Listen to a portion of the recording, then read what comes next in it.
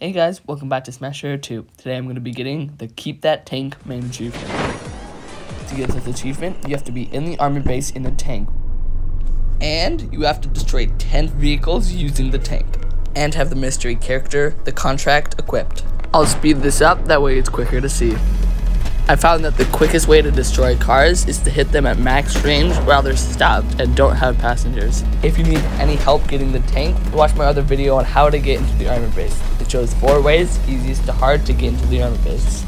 Keep in mind that I have previously gotten this achievement before this video and I have the con.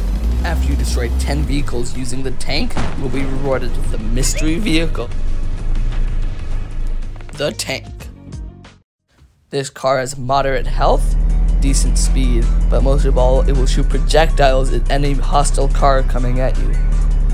Thanks for watching, don't forget to subscribe, comment what video you'd like to see next. Thank you for watching, have a good day.